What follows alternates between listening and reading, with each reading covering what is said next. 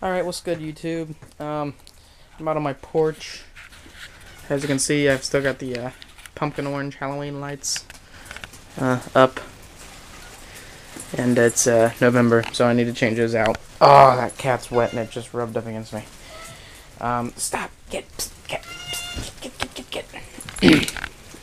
um, but yeah, like I said, here we are on my front porch. It's a nice looking little truck box, isn't it? For a 12 with a crossover inside.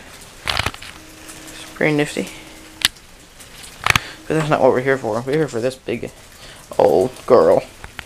Um, I tore this out of my car. Uh, this is what the 310s usually sit in. Um, oh my god, cat, you're wet. Please quit running into me. anyway. This is... Oh god, here comes my other cat. Here he comes. Marco! Oh, you're wet too, and I know you'll jump up on me.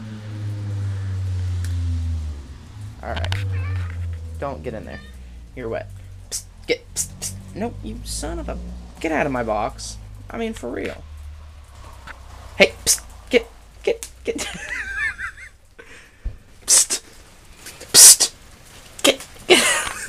Marco, get out of the box. God, I can't even make a video without you animals. Anyway, this is the box that holds the three PowerBass 10s. Um, I uh, got it back from wood shop today at my school. Me and the uh, woods teacher cleaned it up. It was uh, really been out of shape. It had a lot of um, uneven edges, like uh, right here. Um, like stuff was out a quarter of the inch, and the, the cuts just weren't clean. We cleaned it up. It's perfect. If perfect could be perfect, it is perfect. Um, when uh, my friend Justin built it for me, he had the one single dowel rod piece in there, and we put two more, um, two more pieces of bracing up and down, which uh, works fine and dandy. Um, at some point, if I get uh, really, really, really much bigger subs, um, I'll be doing either a double baffle or I will somehow brace this front baffle because as you can see there's really not that much wood there but it is thick wood. It's three quarter inch. It's not really going anywhere. I couldn't kick it in. Well I guess I could but not not likely.